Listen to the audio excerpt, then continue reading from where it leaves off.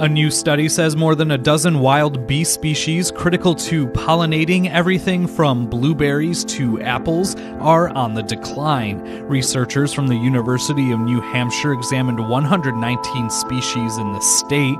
They got some help from a museum collection at the college dating back 125 years. They wanted to understand if the documented declines hitting honeybees and bumblebees were also taking a toll on the lesser studied bee species in New Hampshire.